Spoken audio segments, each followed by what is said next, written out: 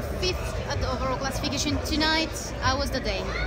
Overall, I must say it's been a tough day, hard, hard day for the car, but it's stages were quite enjoyable, and I tried. I pushed, I pushed hard in the morning. Uh, was was going better than the afternoon. I mean, afternoon I also pushed, but he, I think he hit something and I damaged the front right damper. And after that, I was suffering. I couldn't couldn't keep up with the with the other guys.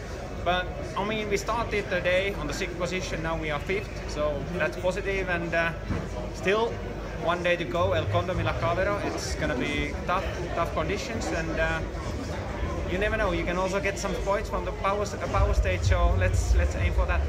Okay, so you're gonna go for it in the power stage. Yes, absolutely. But first we have to get to the power stage and also finish the power stage. Yes, absolutely.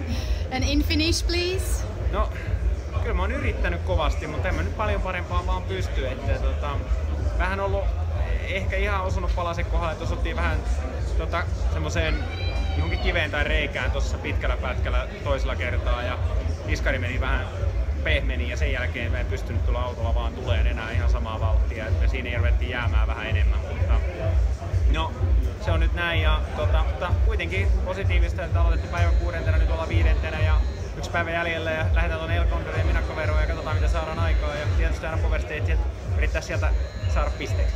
Kiitos. Kiitos.